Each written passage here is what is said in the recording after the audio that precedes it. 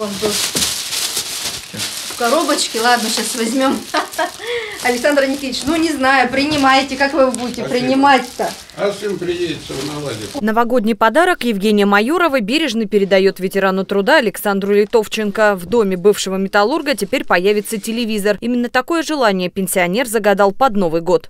Ну что, поставили, кажется. Все, готово.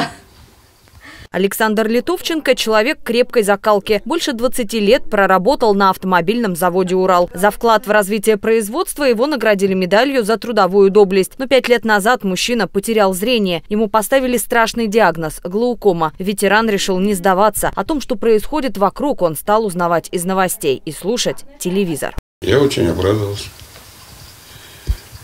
Тем более у меня э, возникли э, проблемы тогда и с телевизором.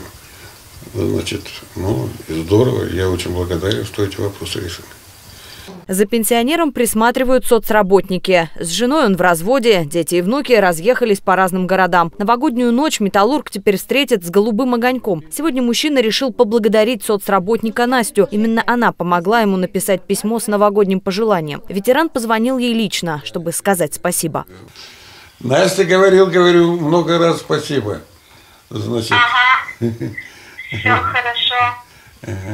Уполномоченный по правам ребенка рада не только вручить подарок, но и обрести новое знакомство. Ведь нередко пожилые люди становятся наставниками для молодежи и участвуют в общественной жизни. Это действительно человек, очень много сделавший для региона, который внес большой, вообще большой вклад в развитие отрасли. И, конечно, такие люди, они должны быть своего рода наставниками для наших детей, для подростков. Елка желаний продлится до Нового года. Всем, кто хочет поучаствовать в акции, нужно обратиться в администрацию своего района. В ближайшее время южноуральцы получат свои заветные подарки. Ольга Кокшарова, Екатерина Балашова, Роман Паротиков, 31 канал.